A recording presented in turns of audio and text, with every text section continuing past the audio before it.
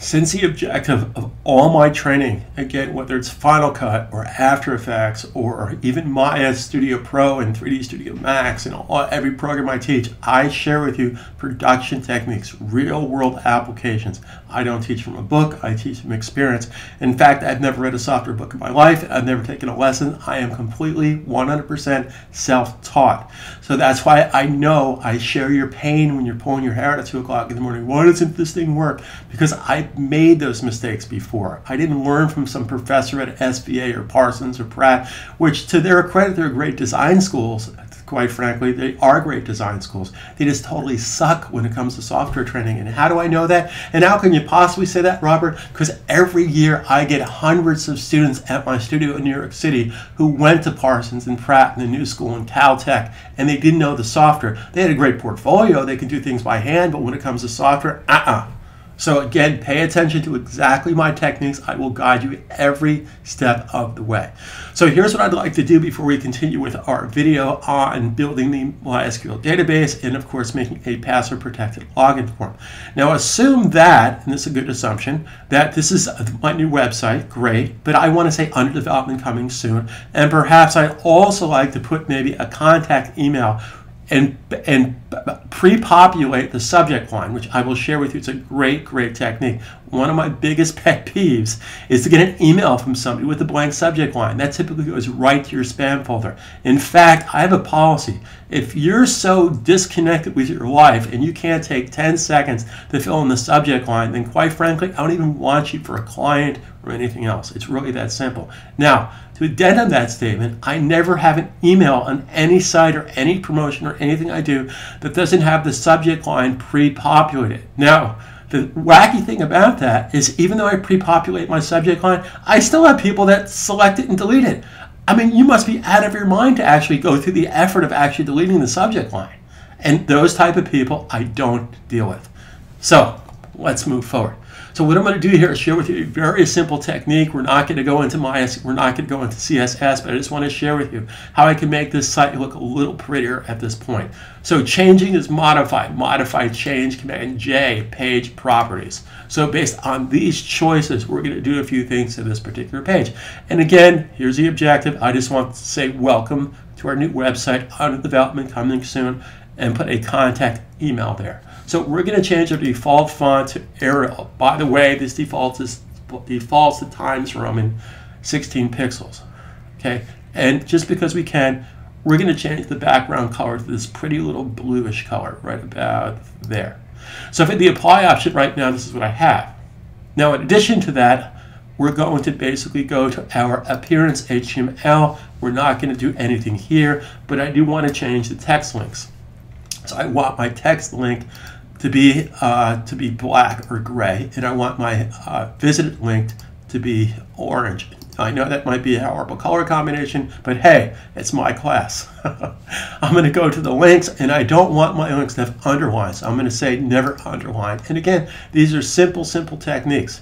Now, I'm not going to speed through this, but I, this is not what this course is about. I'm just sharing with you some very basic techniques. I have full courses on this, of course, on udemy.com, and I also have some free videos that go into this as well. So the only thing I want to do here is change my heading, which I'm going to turn this into an H1 tag. And I just want to make that uh, 2.5 M spaces. And I just want to change the color so it's going to be, uh, let's change the color so it's yellow so it'll really stand out. Yellow is a good contrast to this color. So that's all I'm going to do to this and I'm going to hit OK. Okay, so now if I put my cursor right here, and for those of you that are new to Dreamweaver, that's fine we could simply change the format based on these choices format. And based on these choices, we're going to pick header 1, H1. Now, a simple way to do this with shortcuts is simply Command 1, Command 2, Command 3, Command 4, Command 5, Command 6. On Windows, it's Control. Now, where would I get that? Where would I format and get the shortcuts for that? Well, based on these choices under Format, Format, paragraph formatting. So the shortcuts are right here. Command 1 through 6 is header 1 through 6. Of course, if you're on a Windows machine, that says control 1 through control 6. Now, in addition to that, based on, uh, so if this was a word processing program, so this is my property palette. So I'm going to click right down here under CSS. And again, I'm not going to talk about writing CSS. I'm just going to share with you a very simple concept. We're going to put this in the center of our page. Now, if in fact you don't want it to be that size, and I can go down here and change that. Let's go ahead and make that 2, as in 2 M's, etc., etc. Okay? Now, the other thing I could do too is I can go back in and make this, I can edit that rule. So based on these choices, I'm going to edit that CSS rule. And I'm just going to choose, based on these choices, we're going to click right here, and here's the rule definition for H1 that I created, by the way, when I went to modify page properties. So just because we can, we're simply going to say make this capitalized. So it's going to capitalize each word. Now I'm going to hit the return key, and I'm going to put uh, something like under development, under development, and if I learn how to spell, coming soon, etc., etc. Now, I probably shouldn't have bored you with that. So the only thing we're going to do here, we're not going to stylize that, but we're just going to put this in the center. It's really, really that simple. And I'm going to hit the return key, and I'm going to type in contact us. Now, if you really don't want to, you know, write code or all that stuff, here's a very, very simple way we can make this an email. I basically click this paragraph by clicking right here. Here's my tag selector. Now, again, this is not an intro to Dreamweaver, but I'm just sharing with you some, some basic understanding of how to do this the right way since you're already here. I'm going to select the P for paragraph. Then from the insert menu, insert email link. Anything about insertion is under the insert menu. Insert image, insert flash files, insert QuickTime movies, insert a form under the insert menu. That's how the software thinks. Pretty cool. Makes sense to me. So we're going to put in here the email address. Now, we're not going to put the code for that, which is mail to colon. We're simply going to put in the email address. And I'm just going to say contact. Now, guys and girls, I, I, I, there may be a website out there called my mysite.com. So don't be a wise guy, wise person, wise girl, and con actually contact these people if in fact that website exists. So just don't do that, please because years ago, because I do, you know, I have thousands of students worldwide, and unfortunately, you get some, I hate to say the word, but you get some knuckleheads. And they actually start contacting these people, and then I get hate mail. Why are you sending? And I'm like, look, I, I mean, I try, maybe there is a site called mysite.com, but just don't contact them, please. Now, what I'm going to share with you is I'm going to click right here. So what that did is that, oh, actually, I didn't mean to put, I didn't mean to put the, uh, the text for that. I actually meant to put the email address. So my mistake on that. I meant to say contact me. I wasn't paying attention. I actually meant to I meant to tie it to this actually. So my mistake on that. So I'm just going to take this and I'm going to cut that. And I'm just going to put that right here. Now, if you're wondering why that doesn't look like a hyperlink, is because in my page properties, Command J, remember I set the link up to be uh, I set the link up to be black, so that might be extremely confusing for you. So we're going to change it again as page properties, Command J. So let's change it to a different color. Let's change it to a more friendly link color. Okay, actually let's make it a, you know what, just let's make it white. I think that would probably look great. Good.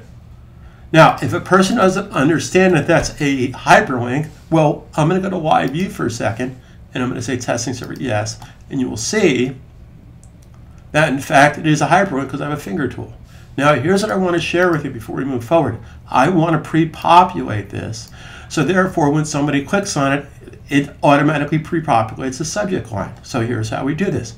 We just click right down here under the link property palette and we put it in the question mark as in query. And it's this simple, subject, spelling subject does help though, subject equals, and then just plain old simple English. I need more info on your website.